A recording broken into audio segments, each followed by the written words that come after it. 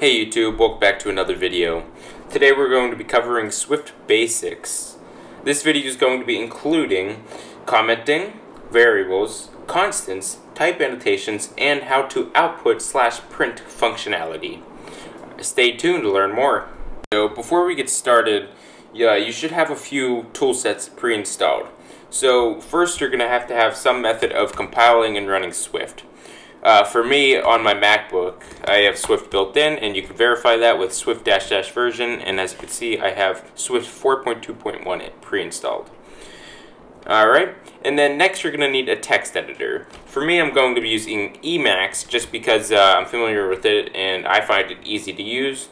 But uh, just use the right tool for the job. You don't have to use Emacs, you don't have to use Vim. You could just use uh, something like Atom.io. I mean, whatever you uh, you find useful and it works is good. All right. Anyways, let's go ahead and open our testing file. We'll call that test.swift. So Emacs test.swift. And as you can see, we have a new text editor window opened with uh, with appending the file test.swift. So the first Swift basic we're going to be covering is commenting. So I know a lot of people don't think comments are useful in code, but they are absolutely necessary. Uh, for example, if you have a program that's a couple thousand lines long, there's no way you're going to remember what everything does in a couple of months. So this is where commenting would come useful. Uh, basically, we, let's say we have a block of code right here that does, you know, who knows what. And you could say, comment, hey, this is uh, for deatomizing the atomizer or something like that. I have no clue what that means. It was just an example. But as you can see, Emacs uh, has turned the two slashes, the two forward slashes, to red because it sim uh, symbolizes a comment. So basically, whatever you put in this comment here, when you go to compile and execute the Swift, this won't be executed. So hey, I'm a comment. The compiler does not, oops, does not execute me. Alright, and as you can see, that's a single line comment because it covers one line and one line only. Let's say if you wanted a multi-line comment, you're going to be doing a forward slash, an asterisk, do enter, and as you can see, Emacs has auto-completed the uh, another asterisk and a backslash. Alright, and this is a multi-line comment because it could span multiple lines. This is a multi-line comment. And as you can see, Swift wouldn't uh, execute this multi-line comment either because it is a comment yet again. It's very useful when you uh, when you have a long long paragraph that explains uh, what a function does or a class does, and you just need that extra space to do it. All right, that covers lesson one of Swift Basics, which is commenting. Now, I will be uh, demonstrating the use of comments throughout uh, this tutorial, just to show you uh, in further details how they work and why they're useful. Which leads us to our next option on the agenda, which is variables. So variables are vital to any programming language because they allow us to store values and reuse them later. So to use variables in uh, Swift, to declare a variable, you're simply going to be using the var keyword, and then the variable name. So in this example, we'll call it x, and then equals, and then the value you want to uh, set x equal to. So we'll just set x equal to 5 for this example, and as you can see, that's how you declare a variable. Now it's important to note that the uh, the var keyword here is highlighted in purple because it's a uh, it's an official Swift keyword, which means that you cannot do something like var var equals 5 because var is a keyword. You're not allowed to redefine keywords in, uh, in Swift. Anyways, so now that we have the x variable defined, let's go ahead and save and run this program just to make sure it works. And as you can see, no errors have been outputted. If we were to uh, have made a mistake here, let's say like var x, uh, var x equals some astronomical number that obviously can't be held in a variable, we can see that uh, an error was outputted.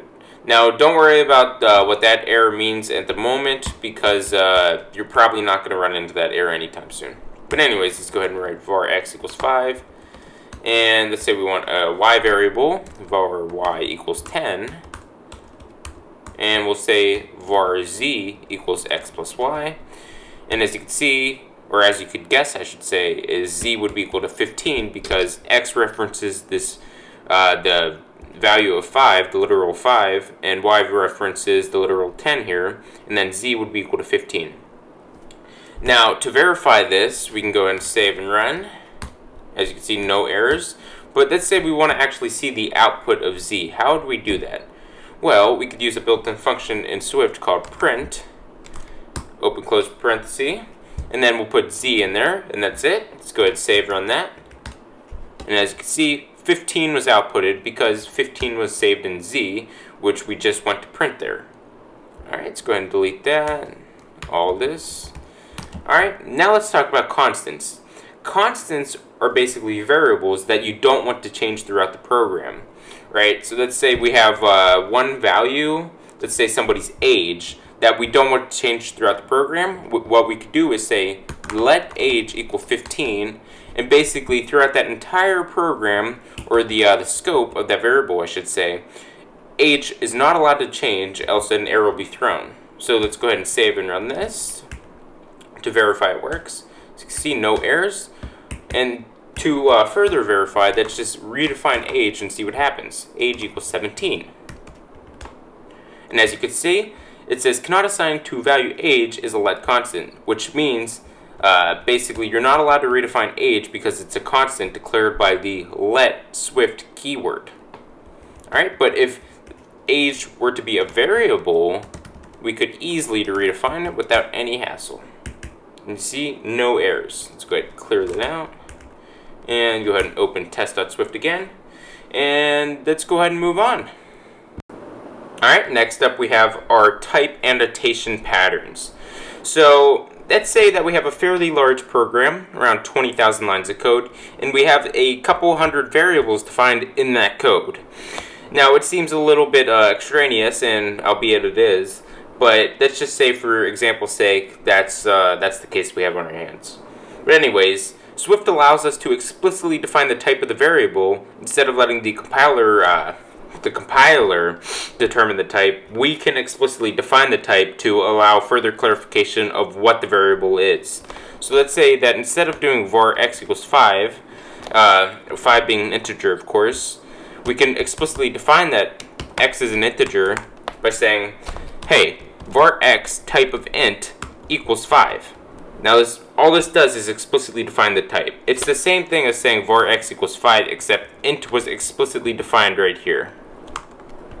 Alright, and you can also define explicit type with uh, with your let constant, or, or uh, excuse me, you have to do a different var uh, variable name, so we'll say y, of type int equals 10, oops, oops, and, uh, and yeah, we can check that this works by saving and running the program. As you can see, no errors were thrown, and you have type annotation, nice and simple. And lastly on our agenda is functions. Now, functions have to be one of the most important things in programming because it allows us to encapsulate a, uh, specific group of code that executes for a specific purpose. Now, functions uh, allow us to reuse code without necessarily uh, typing out what that code does specifically, which is great because uh, in programming there's a concept a lot of programmers recommend you follow, which is called DRY and it just stands for uh, do not repeat yourself. We can show that with a comment. Dry equals do not repeat yourself. Now what I could have done here is uh, is use a multi-line comment like this. My mistake. As you can see there, can go ahead and get rid of that. So dry just stands for do not repeat yourself which is uh, I recommend everyone follow that because it's you know keep it simple, stupid, but do not repeat yourself. And that probably should be one word. Yeah. Okay. Anyways, to declare a function in Swift, you're going to want to use that func keyword. And as you can see, it's highlighted in purple yet again. Func uh, will say add x and y. As you can see, I used camel casing here, which is basically just capitalizing every uh, every text entity uh, is the first letter is capitalized basically. Alright, so we have func add x and y, and you're going to have to add a open parenthesis, close parenthesis, and then you just add a open parenthesis, or open bracket, excuse me, and a close bracket, and that's how you define a function in Swift. Now, to call that function, all you have to do is the function name, and then open close parenthesis. Now, it's important to only call the function after you declare it, else the function will not exist. So, for example, if you were to put add x and y uh, invocation up here, there would be an error because add x and y hasn't yet been defined because we defined it down here. So always make sure you do that, like that, and yeah. So as you can see, you could save that and run that, and no errors have been thrown because uh, it works. And more importantly, uh, the function doesn't yet do anything. So uh, it's important to note that the function name should define what the actual function code does. So in this particular function, we should add x and y. So what we could do is say let, oops, let x equal 5, let y equal 10, and we can return z, which would be equal to x plus y. And we could see uh, the value of this, the, re the return value, by printing that. So let's go ahead and save and run that. And, oh, I messed up. So we actually don't need to define z yet again here. Or actually, we don't have to define z at all because we could just return x plus y. And, oh, so here's a common problem that you'll find in programming. Uh, you have to set the return value of the function in Swift, unlike languages such as JavaScript and uh, because they are dynamic languages, unlike Swift, which is a static language. We'll get more to that in another in a, another video. But anyways, just know that you have to define the return value by doing something like this. So it's going to be a dash and then a, uh, a greater than sign and then the return type value. So let's go ahead and save that. Oop. My bad. Let's go ahead and save that and then run that. And as you can see, we got the value 15. Now let's say we wanted to add two strings together. So we could do func add x and y strings, open, open close parenthesis. Return type is going to be string, open parenthesis, or open bracket again, open or close bracket. And then what we want to do is let x equal hello, let y equal world, and return x plus y. Now, when you add strings together, that's going to be called string concatenation, which basically you're adding strings together, but you know, it's not in the same sense as adding numbers together. But anyways, we're gonna have to put a space there, just realized. And let's go ahead and invoke this function right under the, uh, the other invocation at x and y strings this time go ahead and save and run that. And as you can see, we have the old invocation right here, and then the new hello world here. Let's go ahead and add comments of what these functions do. So adds x and y defined in function adds x and y strings defined in function and it's also probably important to note in, uh, in the functions commenting what the return values are. Return is x plus y. And then same thing for the, uh, the string concatenation function. Return x plus y. And as you can see there, that is how you use functions in Swift. Oh, and uh, before I leave, it's also important to note that your function does not have to have a return value. So let's just say func do nothing, oh, parenthesis, close parenthesis, and we can actually leave out the, uh, the function, uh, the return value here if we don't return anything in that function. It's basically the same as declaring the return type is void.